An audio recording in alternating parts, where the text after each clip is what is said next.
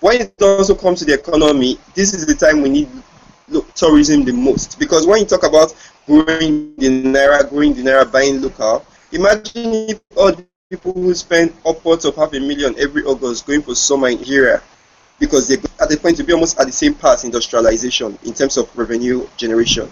So um, I'm excited about all these things. But now when it comes to um, increasing the potential of tourism in Nigeria, I start agree with Mr. Sonny in that we have to do a bit more in terms of infrastructure. So, for example, the roads have to be safer. Recently, I traveled to um, Erin-Ijesha Waterfall in Osun State, Osun Ekiti State, and the roads were not too good. They were motorable, but not too good. So the roads have to be improved. Security has to be improved, especially when you're talking of tourism in the north. The, the north has awesome tourism potentials.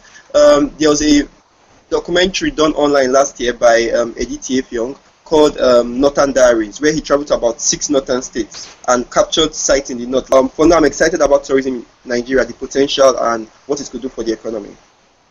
All right, what factors do you think contribute to Nigerians not exploring the myriad of tourist sites in Nigeria?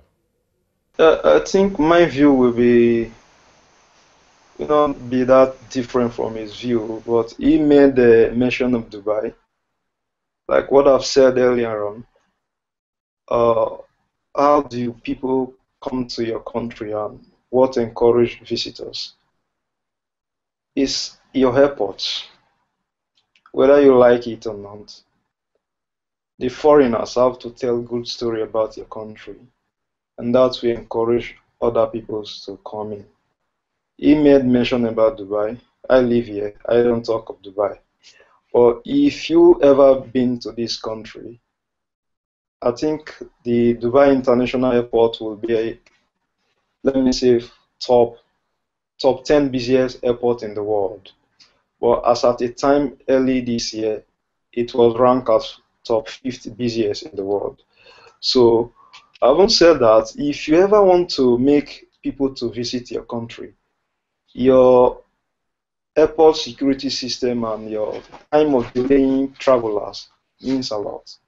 But in Nigeria, we haven't have that system whereby even me that have a Nigeria passport come into the country, I have to spend like a lot of hours, mostly in Lagos airport. That's one of the reasons when I traveled December to Nigeria, I never use Lagos airport. I use through Abuja.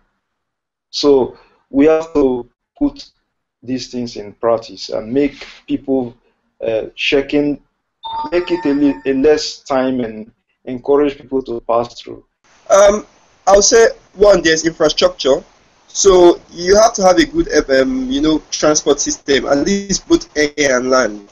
The roads have to be safe and motorable. Your airport system has to be seamless. Secondly, I'll say it's in terms of us. I'll say it's our packaging, for lack of a better word. So, for example, if you watch CNN now, there's an ad that goes on about encourage that encourages you to visit Dubai. And when you watch that ad, trust me, you would be excited about going to Dubai. Now, fine, we don't have to have CNN ads, but things as minute as having a website. For example, I plan to go to Yankari Game Reserve, but despite how important and how long Yankari Game Reserve has been in Nigeria, they do not have a website. They do not even have a site where they have formally documented information on Yankari Game Reserve that this is how to get here, this is how much the rooms will cost. I have to go to sites like Nairaland, and that is user generated content. That means it's people like me that are putting it, it is not well curated, it might not even be it might even be false. So we have to do more in terms of information and you know communication from Europe, from the UK or anywhere coming to Yankari Game Reserve. They will not be comfortable knowing there's no website that on this site. And this thing I'm saying it goes for almost all local sites in Nigeria. They do not have a website. They do not have a, an information board that people can go and get this information from. So we have to do better with that. And um, then, yeah, the infrastructure, then security definitely.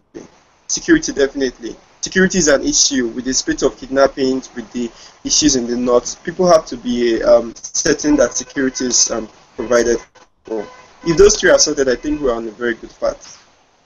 What role should the government be playing in making tourism attractive? Um, I think government has to moderate discussion. So I don't think the government should invest in tourism 100%. But what I think is government should lead the conversation. So let's see public-private partnerships. That means tourism is a profitable venture. but let government bring in people who can invest in this. Just the way we've seen in the Lekki-Ikoyi Bridge and Ikoyi Bridge. So when people want to travel to these places, they do not mind spending a bit of money if they know comfort is assured, security is assured. So um, if, I know by the present administration about a credit crunch and not enough funds to invest, but we're saying what we want to see is political will.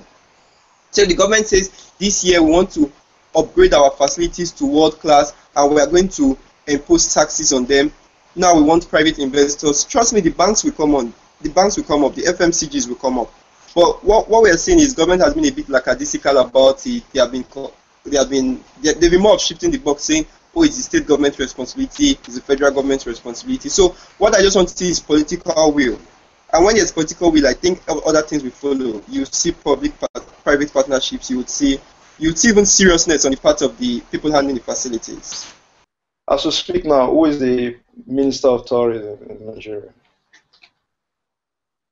I haven't heard anything about him since we are talking of uh, uh, global oil crisis that we don't really have enough money to fund most of our projects in the country. I haven't heard anything from him saying that, okay, this is what we do and this is how we make uh, tourist and attraction area in Nigeria. I haven't heard anything from any minister from that industry. So when you're talking of the role of government, the role of government is to create that enabling environment for investors to come in. Like most of the investment you see in some of the countries in abroad, not really that government is the one spending all the money building those uh, sites, but they make the private uh, sector to come in and invest. At the long run, they know how to pay everything back. So if government wants to make that industry successful, they have to come up with policy that we encourage people to key in and contribute to develop a lot of tourist sites in the country. What about Nigerians? What should be their roles in making people abroad know about these sites that are in Nigeria? Okay, first, First, I want us to have a good review culture. What I mean is, uh, they have a good review culture. Once a person goes to a restaurant, most times it's natural or rote for them to just go online and post a review about that restaurant, the services and the ambience and the food.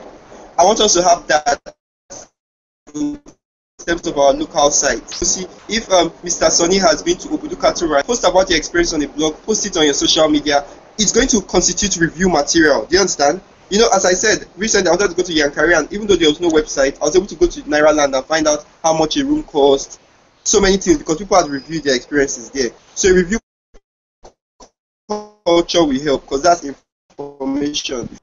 Uh, Nigerians, uh, they have a lot of role to play also.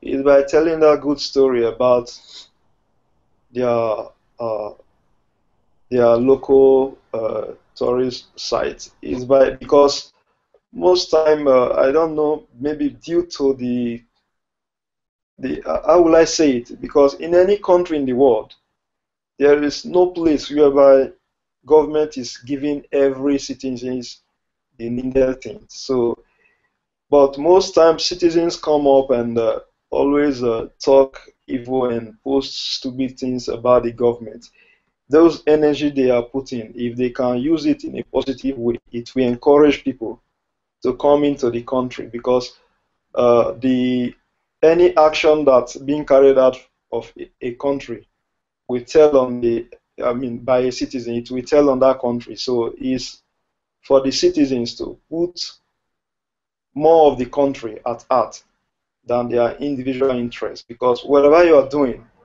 it, it will reflect on your country